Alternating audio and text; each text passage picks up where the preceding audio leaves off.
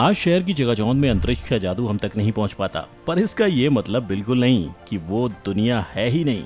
आए दिन नासा अंतरिक्ष की सुंदर तस्वीरें दुनिया के सामने लाता ही रहता है और अचानक कोई नया पहलू हमारे सामने परोस देता है। हाल ही में नासा ने जो दिवाली के दिन सूर्य ग्रहण के बाद सूरज की अजीब सी हंसने वाली शक्ल की तस्वीर जारी की थी तो ज़्यादातर लोग सख्ते में आ गए थे। अब सूरज से ओम की ध्वनि निकलती है या नहीं, ये अब तक वैज्ञानिक नहीं बता पाए। लेकिन हाल ही में नासा ने दावा किया है कि उसने नया ग्रह खोज निकाला है।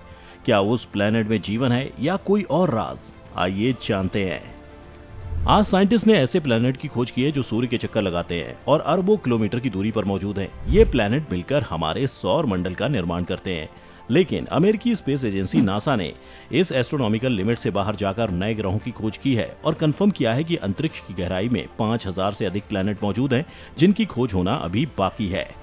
दरअसल फरवरी के महीने में ही नासा ने दुनिया को ये बता दिया था कि वो कुछ बड़ा खोजने वाले हैं और हुआ भी यूँ ही। बता दें कि अमेरिकी स्पेस एजेंसी ने अब तक 10 एक्सो की खोज कर ली है। अब आप सोच रहे होंगे कि एक्सो क्या बला है? तो एक्सो भी ग्रह ही होते हैं, बिल्कुल पृथ्वी, मंगल और जुपिटर की ही तरह। लेकिन इसकी खास बात यह है कि ये हमारे सौर मंडल के बाहर के प्लेनेट होते हैं और साल 1980 के दशक से ऐसे हज़ारों एक्सो की खोज की गई। तो क्या वहाँ भी एक पृथ्वी है? सवाल तो बिल्कुल जायज़ है, लेकिन इसका जवाब आपको आगे मिलेगा। अब इंटरस्टेलर की तरह हम एक नया प्लेनेट ढूंढकर वहाँ अपनी दुनिया बसाएँगे। ये तो फ़िलहाल दूर का डोला है। आगे इन प्लैनेट्स के बारे में नासा ने कहा कि हर प्लेनेट अपने आप में एक नई दुनिया है, एक नया ग्रह है। खोजे गए एक्सो स्ट्रक्चर और करेक्टरिस्टिक्स के बेस पर अलग अलग कैटेगरी के हैं। इनमें पृथ्वी जैसे छोटे और चट्टान वाले प्लेनेट भी शामिल हैं। जुपिटर से कई गुना बड़े गैसी प्लैनेट भी हैं और अपने तारों की बेहद करीब से परिक्रमा करते बेहद गर्म प्लैनेट भी शामिल हैं। इसमें सुपर अर्थ जैसे प्लैनेट भी हैं, जो हमारी पृथ्वी से कई गुना बड़े और चट्टानी हैं और मिनी नेपच्यून्स भी हैं, जो हमारे सौर मंडल के नेपच्यून से भी छोटे हैं। अब आइए हम आपको इन एक्सो प्लैनेट के बारे में थोड़ा सा विस्तार से बताएँ। नासा के एक्सो प्लैनेट डेटाबेस के मुताबिक इस साल मिले 10 एक्सो प्लैनेट में से छह तो जुपिटर प्लैनेट से भी बड़े हैं, और इनका नाम भी नासा ने बहुत सोच समझ कर रखा है। अब इसके पीछे का लॉजिक तो आपको नासा ही बता पाएगा, लेकिन इनमें H D six nine one two three B शामिल है, जो गैस के बहुत बड़े गोलों के साइज़ का है और जुपिटर से तीन गुना बड़ा है। इतना ही नहीं, ये पृथ्वी से लगभग 245 लाइट ईयर दूर है। नासा के मुताबिक ये एक टाइप के स्टार का चक्कर लगाता है, बिल्कुल उसी तरह जैसे पृथ्वी सूर्य के चक्कर काटती है। लेकिन ये थोड़ा अलग इसलिए है क्योंकि ये अपने मेजबान स्टार के चारों तरफ़ हर चक्कर को पूरा करने में तीन साल से ज़्यादा का वक्त लेता है। वहीं पृथ्वी सिर्फ़ इसमें 24 घंटे का समय लेती है। इसके साथ ही एस्ट्रोनॉमर्स ने कई छोटे छोटे एक्सो का भी पता लगाया है। इनमें L T T one four four five A C शामिल है, जो एक पोटेंशियली चट्टानी दुनिया है। हालाँकि ये पृथ्वी के आकार का सिर्फ़ डेढ़ गुना है। अगर इसके रोटेशन की बात करें तो ये अपने मेजबान तारे के ऑर्बिट को पूरा करने में तीन दिन से थोड़ा ज़्यादा समय लेता है। ये जिस तारे के इर्द गिर्द चक्कर काटता है, वो एक एम टाइप का तारा है, जो धरती से लगभग 22 लाइट ईयर दूर है। बता दें कि अब तक नासा ने 3600 स्टार सिस्टम में बिखरे हुए लगभग 5100 प्लेनेट को उनके लाइट ईयर डिस्टेंस के मुताबिक लिस्टेड किया है।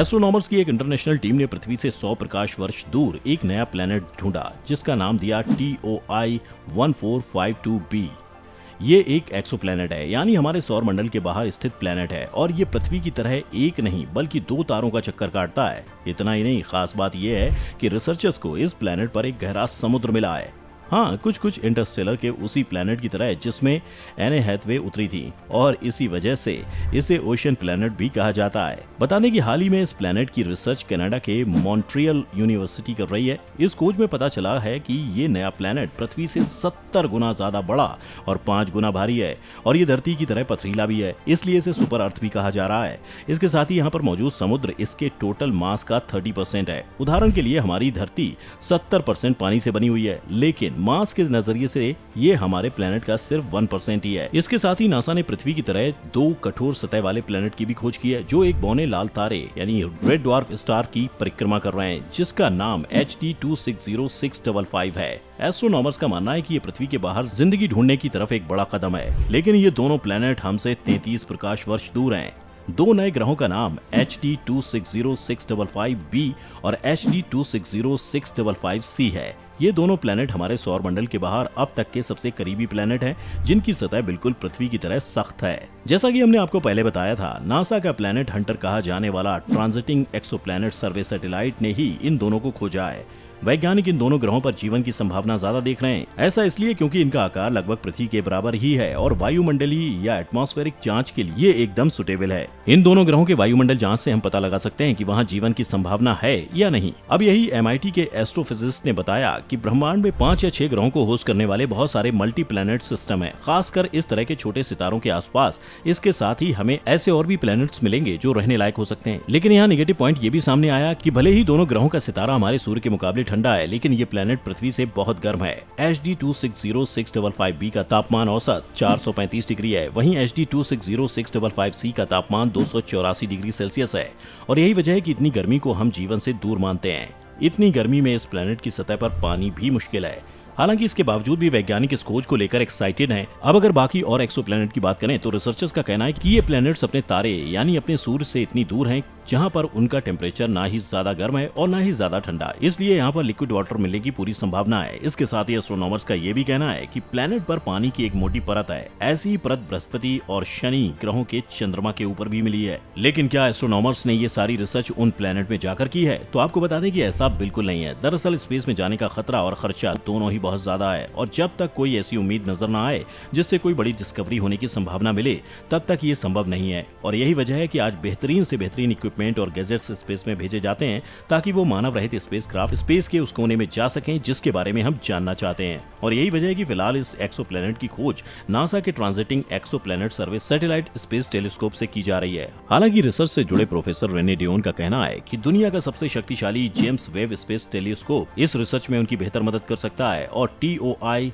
O I one four five two B की अद्भुत दुनिया को एक्सप्लोर करने के लिए साइंटिस्ट जल्द ही वेब टेलीस्कोप को बुक करेंगे। लेकिन अभी ही नहीं, इससे पहले भी एक्सो की खोज हुई थी। दरअसल अगस्त की शुरुआत में ही नासा के साइंटिस्ट ने एक ऐसा प्लेनेट खोजा था, जिसका मास धरती से चार गुना ज़्यादा है और ये हमारी गैलेक्सी के बाहरी इलाके में मौजूद है। इसकी डिस्कवरी के बाद वैज्ञानिकों ने इसका नाम रॉस 508 बी रखा है। बता दें कि ये पृथ्वी से 36.6 लाइट ईयर्स दूर है। इसके साथ सबसे डराने वाली बात यह है कि यहाँ पर एक साल ग्यारह दिन के बराबर होता है। अब यहाँ एक सवाल हमने आखिर के लिए छोड़ दिया था कि क्या कोई ऐसा प्लेनेट मिला है जो पृथ्वी की तरह हो या फिर जहाँ ज़िंदगी हो? और अगर ऐसा नहीं है तो क्या हम पूरे ब्रह्मांड में अकेले हैं? तो यहाँ आपको बताते चले की पूरे ब्रह्मांड में सिर्फ़ पृथ्वी पर ही जीवन है, ऐसा नहीं है। हम अकेले नहीं है, क्यूँकी दुनिया भर के एस्ट्रोनॉमर्स का मानना है की फ्यूचर में इस बात की स्ट्रॉन्ग पॉसिबिलिटी है की हमें अंतरिक्ष की गहराइयों में जीवन जैसा कुछ मिल सकता है। क्योंकि जीवन की खोज के लिए ग्रहों की संख्या तेज़ी से बढ़ रही है। लेकिन अभी तक इन नए ग्रहों का अच्छे से एनालिसिस नहीं हो पाया। जेम्स वेब जैसे स्पेस टेलीस्कोप और विज्ञान की बढ़ती इफिशियंसी इस खोज में सबसे अहम किरदार अदा कर रही है। दोस्तों, आपको क्या लगता है? आने वाले समय में हमें कोई और ग्रह मिलेगा जहाँ जीवन हो? बिल्कुल पृथ्वी की तरह। और अगर हमारे ज़िंदा रहते ऐसा कोई प्लेनेट मिल भी गया तो क्या आप वहाँ जाना चाहेंगे? अपनी राय हमें कमेंट सेक्शन में ज़रूर बताएँ। आज की वीडियो पसंद आई हो तो वीडियो को लाइक और शेयर ज़रूर करें और साथ ही चैनल को सब्सक्राइब भी कर लें।